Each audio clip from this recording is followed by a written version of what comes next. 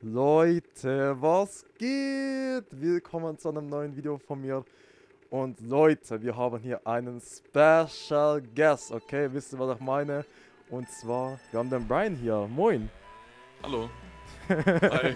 Hallo, das bin ich. Hallo. Es ist der einzige Mal der Brian am Start. Und Leute, wir möchten über ein paar Themen reden mit euch. Aber das Ding ist noch, ey Brian, ich war heute 6 Stunden live. 6 Stunden war ich live Ja. auf Twitch, Bruder. Und. Danke, Mann. Und Bro, ich bin das so tot, weißt du, wie ich mein? In-game, Alter. Junge. Das war echt, das war echt so ein Mario Party Stream. Ich habe auch sehr schön Mario Party gestreamt. Und ey, for real. Ein Big Dankeschön an ähm, Nindado. Na, ich habe heute gestreamt, ich hatte so ein Donation Goal, ähm, was einfach mit Hide and Seek zu tun hatte. Und Bro, ich war irgendwie so 30 Minuten live und dann einfach das Donation Goal voll gemacht. Und Bro, danke schon dafür auf jeden Fall, auch hier nochmal im Video. Und ähm, es war noch ein Zuschauer da, die, der heißt Florian. Und Bro, der hat die ganze Zeit im Chat so voll die netten Dinge geschrieben. Er, er schaut anscheinend auch die gerne Spielvideos, also Grüße gerne raus an dich. Ich muss wieder Hallo aufstoßen. Florian, hallo. Hallo Florian. Ey, for real. Und ja, ich habe echt heute im Stream einige Kommentare oder Nachrichten gelesen, sodass wirklich Leute die Videos schauen. So, das freut mich irgendwie. Voll viele Leute machen auch nebenbei was, was Kreatives so, ne? Auf einmal kommt jemand und sagt so, yo, ich schneide für Funk, für so einen relativ bekannten. Funk-Channel ähm, Videos dafür. So, Bro, was Krass. geht ab, Bro? Was, trans was für eine Transformation, Bro? Auf einmal so, keine Ahnung, so, ich wusste schon, dass diese Person kreativ ist, so, aber Mhm. Bro, auf einmal kommt das so und schreibt, er startet für Funk, für so einen bekannteren Funk-Channel, äh, die Shorts-Videos und ich dachte mir so, krass, Mann, krass, und nebenbei schaut er ab und zu die Videos von Gami spielt an, das ist heftig, Mann. Aber das ist auch irgendwie heftig zu sehen, so wie viele Leute nebenbei was Kreatives machen. Also ich glaube, du machst, du, du, du warst zumindest bei einigen Leuten nach Katar, Brian. Ja, ja, Also aktuell standest du für niemanden was? genau. Okay. Aktuell habe ich Pause, aber ansonsten. Pause vom Schneidern. Ja, ja. Aber, ähm, also, vielleicht fange ich irgendwann wieder an, aber Mhm. in, in nächster Zeit ist nichts geplant. Ja, check, check. Aber ja, Pause vom Schneidern, aber nicht vom Schulstress wahrscheinlich. Ja, ja, das stimmt. Oh mein Gott. Ey, Brian, du bist so. Du bist wirklich so jemand, der einfach. Manchmal vergisst zu schlafen oder einfach nicht schläft. Du bist Ja. so, wirklich- das ist so wirklich so ein Brian-Moment. Das, das ist einfach Ich, ich mach- habe ja. heute zwei Stunden geschlafen. Aber wie machst du das, Mann? Und warum? Warum hast du zwei Ja. Stunden gepennt? Also, das ist auch viel für dich irgendwie, für deine Verhältnisse. Für, ma- wenn man so andere. Tage vergleicht, wo, wo du halt so zwei Tage am Stück wach warst. Oder, Bro, äh, also, ich glaube, wir greifen auch noch gerne ein paar Stories diesbezüglich auf. Aber warum hast du zwei Stunden heute gepennt? Ja, ich denke einfach, ich habe das Problem, dass ich halt super schnell in so einen Workflow gerate. Und ähm, ich, ich Oh. muss mich einmal motivieren. Und dann blende ich einfach alles um mich herum aus. Ich habe eine, eine Aufgabe und bis diese Aufgabe fertig ist, mache ich nichts anderes. Bro, das ist Fall war- krank, Bro! Ja, aber es, ist- es ist ehrlich krank, also es ist noch nicht gesund, deswegen. So ein bisschen abgewöhnen sollte ich das schon, aber ist natürlich auch hilfreich. Oh. Aber was, woran hast du gearbeitet? Ähm, also an sich habe ich viele Schulaufgaben momentan und wir hatten auch einen Chemietest. Und genau, ich habe nicht, also ich habe am Anfang nicht dafür gelernt, dachte mir so, ja, scheiß drauf, aber dann habe ich mich doch irgendwie motivieren können. Und dann habe ich komplett irgendwie so sechs Seiten oder so in, in zwei Stunden auswendig gelernt und war komplett fokussiert, aber das waren halt die zwei Stunden äh, von irgendwie 2 Uhr nachts bis 4 Uhr nachts.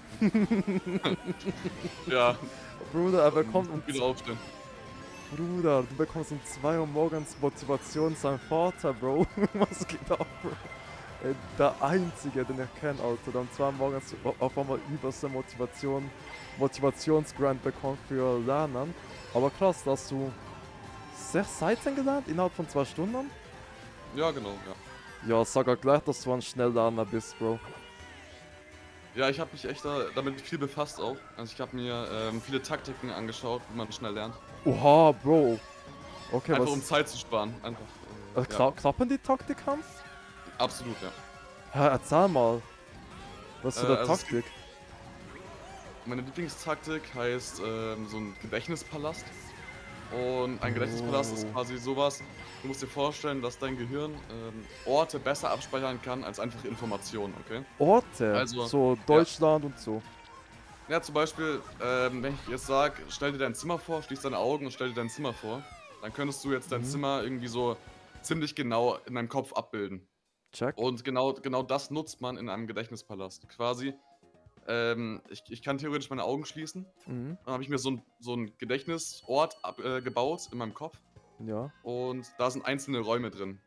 Und in diesen Räumen ähm, passieren eben Sachen, die ich mir zum Beispiel merken muss. Zum Mhm. Beispiel, ähm, keine Ahnung, es, es war irgendwie so eine äh, Nahrungspyramide letztens, die ich mir Ja. auswendig lernen, äh, mer- merken musste, genau.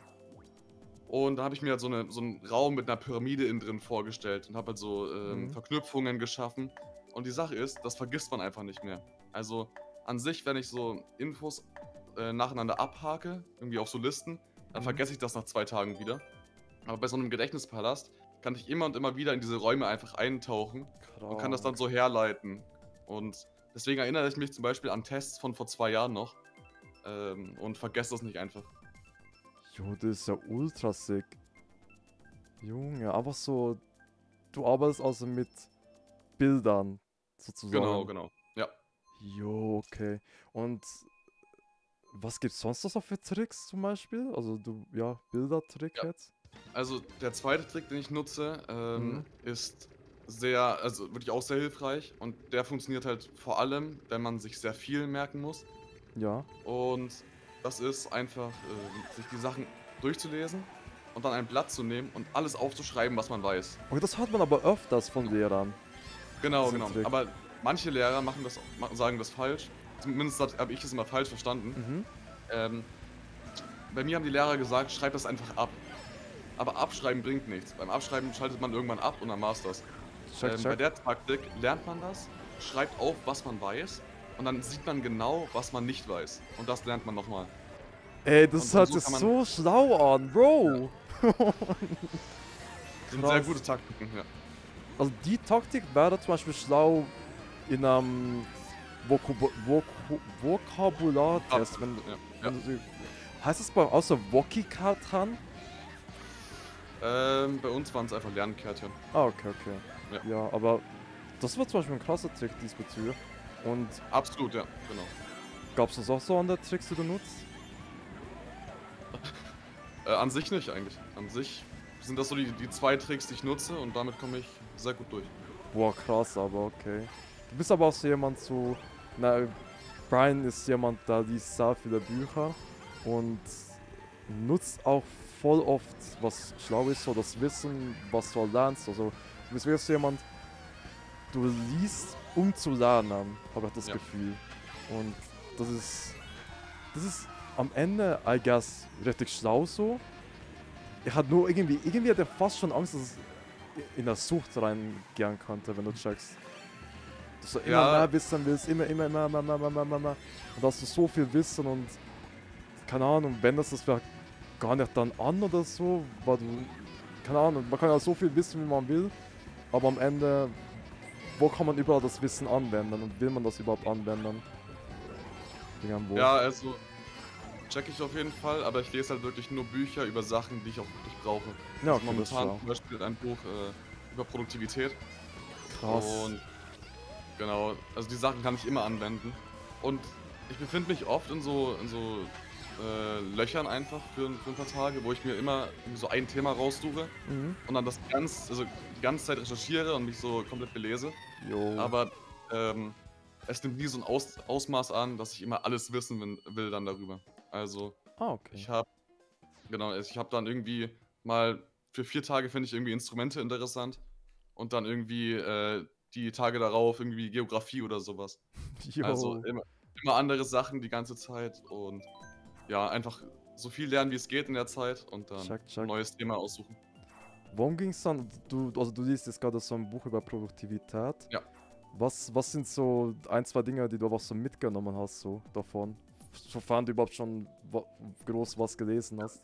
Absolut, absolut. Okay. Ähm, also an sich dieses Buch beschäftigt sich damit, ähm, mit möglichst geringem Aufwand sehr viel Leistung zu erbringen, quasi. Also, dass ich Ja. wenig ändern muss an meinem Alltag, aber viel Wirkung, ähm, also sich dafür, also sich viel Wirkung zeigt, quasi. Check, check. Und ähm, es ist quasi so, es gibt da auch wieder Taktiken, Mhm. äh, zum, um, um neue Gewohnheiten zu schaffen. Okay, das ganze Buch dreht sich um Gewohnheiten. Jo. Okay. Und an sich, du musst ja wissen, dass, dass Gewohnheiten den Menschen ausmachen. Also wir, wir stehen auf und haken einfach immer so Gewohnheiten ab. Also wir denken auch gar nicht drüber nach. Wir stehen auf, Zähne putzen, anziehen. Und das sind die ganze Zeit so Gewohnheitslisten, die man abarbeitet. Jeden Tag. Das stimmt, Ähm, Genau, und dieses Buch hat, macht es quasi so, dass man in diesen Gewohnheiten, wo man gar nicht drüber nachdenkt, ähm, neue, ähm, quasi neue Aufgaben dran koppelt. Also eine neue Gewohnheit erschafft quasi. Mhm. Ich habe es zum Beispiel so gemacht, dass ich aufstehe, Zähne putze und dann direkt 20 Liegestütze mache. Ah, 30 Sit-Ups. Bro, Und ich denke gar nicht drüber nach, das passiert einfach. Bro. Das heißt- Bro, was? Ja, das heißt Gewohnheitskopplung und genauso Ja. funktioniert das einfach. Also man hat Gewohnheiten und die hakt man einfach ab. Man denkt nicht drüber nach, man macht es einfach. Und ja. Aber das ist jetzt seit dem ersten Tag, oder? Was, es war ja schon Ähm. ungewohnt, auf einmal so Liegestütze zu machen. Checkst Also du, ich meine? ich, ich check, was du meinst, aber tatsächlich fiel mir das echt einfach direkt. Also ich habe, glaube ich, so zwei Tage gebraucht. Ähm, und an, also jetzt vergesse ich gar nichts mehr, äh, was das so, was so Liegestütze angeht. Ich muss nicht mehr drüber nachdenken, ich mach's einfach. Okay. In Aber den ersten zwei Tagen war es halt so, dass ich teilweise vergessen habe oder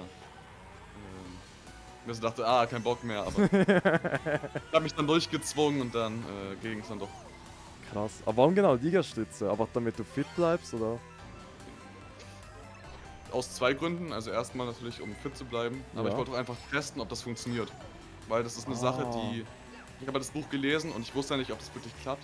Mhm. Ich dachte mir dann so, okay, gut, das teste ich direkt. Dann habe ich halt schnell überlegt, was mache ich jetzt? Und dann waren Liegestütze einfach das erste, was mir eingefallen ist. Und ja, hat geklappt. Also wird demnächst auch mehr damit äh, verbunden Jo, das, eine gut, mehr genutzt. das ist aber krass. So eine gute Gewohnheit war bei mir. So, also imagine, du stehst auf und die erste Gewohnheit ist einfach einen Apfel essen. Imagine, ich würde ich würd mir das niemals zutrauen. Also for real. So keine Ahnung, auf einmal steht man auf und isst einen Apfel. Das wäre so eine krasse Gewohnheit, die, die gut war für mich so. Oder auch irgendwie Gemüse oder so zu essen, aber so direkt am, am Morgen, so weißt du, wie ich meine. Aber Mhm. ich traue mir nicht zu, dass ich das irgendwie schaffen würde. Also bei Ja, da gibt es auch Ja. Tricks tatsächlich. Okay. Ähm, so ungefähr 10, 11, äh, 10 Elftel deiner Sinnesnerven werden vom Auge genutzt. Also da- das, was du siehst, wird verarbeitet. Also zu einem sehr hohen Prozentteil. 10, 11, äh, das ist ja Sehr, sehr viel. 93% oder so, oder 91% oder was ich meine? Hm. Krass, ja. Ungefähr sehr viel Prozent, ja. Und äh, genau, ähm, Ja. es, du, du kannst quasi dadurch, dass also das, was du siehst, macht sehr viel deine Gewohnheiten aus. Also du kannst theoretisch einfach mal so einen Apfel ähm, ins Bad stellen halt oder in die Küche, da wo du immer dran vorbeigehst halt, Mhm. wenn du morgens aufstehst. Und immer wenn du dann diesen Apfel siehst, kannst du mit dieser Gewohnheitskopplung quasi diese Gewohnheit triggern einfach. Weil Gewohnheiten werden nur dadurch getriggert, dass du irgendwas siehst, was dir halt gefällt oder was dir nicht gefällt. Und so entstehen halt zum Beispiel Ticks oder ähm, halt gute Gewohnheiten. Also man sieht etwas, man hat so einen Reiz, den man aufnimmt Ja. und dann, äh, genau, also, und dann will man den irgendwie erfüllen und will eine Belohnung da- daraus ziehen. Und genau. Also jede Gewohnheit äh, fängt mit einem Reiz an, den du siehst, und endet mit einer Belohnung, die du dann bekommst, wenn du es machst. Und was ist meine Belohnung? Okay, wobei, wenn er ein Apfel ist, ist es halt gesund. Das ist die Belohnung Genau, dahinter. genau. Zum, aber zum Beispiel bei schlechten Gewohnheiten, bei Rauchern zum Beispiel, ist es Mhm. halt so, die sind gestresst, das ist der Reiz. Also die haben dieses, dieses Gefühl von Stress, Mhm. das nehmen die wahr. Und dann wollen die direkt die Belohnung haben, nämlich halt, dass sie wieder entspannt sind. Und dann nehmen sie halt eine Zigarette. Und so funktioniert das quasi. Krass, Mann. Ja, macht, Ja. macht irgendwie Sinn. Jo, und dann, also du hast jetzt aber dieses Produktivitätsbuch da und so, keine Ahnung, du bist wahrscheinlich jemand, der schon in seinem Leben produktiv sein will oder du bist, I guess, auch jemand, der einfach produktiv ist und immer was tut eigentlich, oder? Oder gibt es auch so Tage, Ja. oder was so, oh jetzt drei Stunden, oh bin aufgestanden, jetzt drei Stunden im Bett liegen. Nee. Nee? Ähm, also, das gibt's bei mir echt gar nicht. Äh, Okay. Mir war auch schon seit Jahren nicht mehr langweilig. Also ich weiß gar nicht mehr, wie sich das anfühlt, so langweilig zu. Mann. Ähm, ist natürlich manchmal stressig, aber an sich, ich liebe mein Leben und ja, ich, ich, ich kann jede, jeden Abend ins Bett gehen und kann stolz auf mich sein für das, was ich gemacht habe und ja, Bro, denke, aber- das ist ein schönes Leben. Aber ich habe das Gefühl, also bei mir ist zumindest ist es bei mir so, so imagine, ähm, heute habe ich gestreamt und Hm. ähm, ich habe jetzt, jetzt nehmen wir dieses Video auf und ich habe noch die Uploads gemacht, wie gerne ich spielt und ich habe auch noch andere Dinge aufgenommen, weißt du, so ich war in meinen Augen sehr produktiv und das alles, weil ich halt irgendwann von YouTube leben will und YouTube, also YouTube und Twitch. Und ich habe ein Ziel und einen Grund, warum ich produktiv bin, plus es ist halt mein Hobby, ich mag das gerne und keine Ahnung, ich gebe auch gerne Leute, aber keine Ahnung, so, ich war ja heute live auf Twitch und voll viele Leute für meine Verhältnisse haben aber so voll nette Dinge gesagt, jo, ich schau gerne die Videos an und so, und das, das gibt mir ein Gefühl von, jo, ich mach was und es kommt bei gewissen Leuten an und keine Ahnung, die, dass ich halt heute so produktiv war, macht mich glücklich irgendwie. Also ich gehe dann wahrscheinlich heute in- ins Bett und denke mir so, krass, ich habe Dinge gemacht heute und das hat mich gerade glücklich gemacht, dass ich einfach durchgezogen habe. Hm. Und ich glaube, so ist es ja bei dir auch so, dass du Ja. Viel Glück aus produktiven Dingen ziehst. Also, Ja. ich frage mich dann, was heißt bei dir produktiv sein? Also, was, was gibt dir ein Glücksgefühl? Woran Hm. arbeitest du produktiv zu sein, außer jetzt Bücher zu lesen und Schule? Ja, also ich habe allgemein das Ziel, ähm, Ja. also ich habe das Ziel immer jeden Tag glücklich zu sein und ich habe sehr, ich hatte sehr große Zukunftsangst davor, im ja. Alter nicht mehr glücklich zu werden. In welchem Und Alter? deswegen, Aber auch wenn du älter wirst. also ab, abarbeiten tatsächlich, weil mir die Leute immer gesagt haben, als ich klein war, dass ich die Schule genießen soll, äh, Oh, weil, es, weil es ja die beste wow. Zeit ist. Oh mein Gott. Und ich okay. hasse, ich hasse Schule aber und ich habe richtig Angst davor, dass es noch schlimmer werden kann. Oh nein. Weil ich kann mir nicht vorstellen, dass es noch schlimmer werden kann. Ich Oh schlafe jetzt schon nein. Was schlafst du? Was, was, was schlafst du? ich, ich schlafe jetzt schon nur zwei Stunden und äh, Also, ne, aber nicht immer wird- zwei Stunden. Brian, oder for me nicht immer Nein, zwei nein, Stunden machen. nein, wir nein, das. nein. Okay. Manchmal auch mehr, manchmal sechs. Deswegen bin ich witzig, Brian. Schlafst du auch Ich mal weiß, aus, for real? Schlafst du auch mal aus, so bitte? Am Wochenende, am Wochenende, ja. Okay, okay. Bro. Aber das ist crazy so, dass Leute dir so einreden, yo, Schule viel besser als Arbeiten. So, und jetzt hast du so Angst davor. ja. Aber Mittlerweile ist Angst tatsächlich so ein bisschen wieder weg. Mhm. Letztes Jahr war es ganz schlimm. Äh, da hatte ich jeden Tag Angst davor. jeden Tag Und deswegen habe ich halt, genau, ja, und deswegen habe ich halt dieses Ziel gesetzt, quasi immer glücklich zu sein. Aber wie schaffst du das, Bro? Ja, wieder einfach Bücher lesen darüber, was, was Glück ist, wie man es bekommt. Und okay. äh, ich, ich will später keinen Geldstress haben. Deswegen ist mein Ziel halt irgendwann finanziell frei zu sein. Sodass ich nur arbeiten gehen, also gehe, wenn ich auch Bock drauf habe. Mhm. Äh, und genau, ich will einfach so ein entspanntes Leben haben. Ich will. Äh, di- dieses Jahr bin ich in so ein Shaolin-Kloster für eine Woche. Ja. Äh, einfach um so deren Mindset zu verstehen. Und auch Sport zu machen natürlich für mein Immunsystem. Mhm. Und ja, ich will einfach so von Leuten, die halt jeden Tag glücklich sind, will ich halt sehr viel lernen und das auch für mich anwenden. Sind die immer glücklich? Also, ich, bei Shaolin-Menschen bin ich mir nicht ganz sicher. Auf jeden Fall sind die sehr zu, also, zufrieden immer, denke ich. Die haben immer ein sehr ausgewogenes Leben. Das ist ja quasi deren Haupteinstellung. Krass, okay. Ja. Ah, das ist, also Leute, for real, da muss ich echt Brian Props geben, so, du bist im Moment glücklich. Man kann ja sagen, was man will, aber im Moment bist du glücklich. Du schadest niemandem dabei, glücklich zu, also, weißt du, dein Glück zu finden. Und, ähm, ja, du befasst dich sehr krass selber mit dir und dem Thema glücklich sein, was einfach, ja, wichtiges Thema ist. So. Also natürlich will man Mhm. gerne glücklich sein. Und du bist eine Person, die sich damit befasst. Und auch bis an sich herumprobiert und sich aber informiert und das Wissen von anderen Leuten, die halt vielleicht mehr Wissen haben als du, du ernimmst aber dieses Wissen, du, du lernst von Leuten, die sich mit gewissen Themen gut auskennen und das ist schlau in meinen Augen. Danke, danke. Also Props. Aber ja, glücklich sein ist, ist, ist definitiv eine Sache, die man will. Aber dann generell aber so, ähm, also Produktivität macht dich ja glücklich, Lesen macht dich glücklich, aber wie, also gibt es irgendwie vielleicht so ein, was war das denn? Gibt es irgendwie so einen Tipp, ähm, was dich jetzt allgemein glücklich macht? Also abgesehen ist von ein paar Dingen, die man, die man jetzt hier erwähnt hat, wie zum Beispiel halt, äh, ja, so an einen Ziel nachgehen oder halt äh, Dinge lesen so. Gibt es andere Dinge, wo Ja. du denkst, jo, das macht mir jetzt aber überglücklich so? Also ich denke einfach, ich habe ja dieses Hobby gefunden zum Videoschnitt Mhm. äh, in der Zeit lang. Und ich denke dadurch, dass ich halt direkt äh, quasi, ich sag mal, also nicht erfolgreich, aber direkt für so viele Menschen geschnitten habe Mhm. ähm, und das so perfekt ausleben konnte, das hat mich sehr glücklich gemacht. Also, Also aber an sich das finden, was einen, was einen Bock macht und dann durchziehen. einfach ein Hobby finden, was auch einem Ja. erfüllt. Ja. Das ist krass. Das ist krass, man. Leute, ich hoffe, ihr findet oder habt euer Glück im Leben gefunden, euer Hobby, was auch immer. Ich finde es gut, dass du dich mit dir selber beschäftigst. Und Danke, danke. ja, vielleicht musst du noch ein bisschen mehr schlafen manchmal.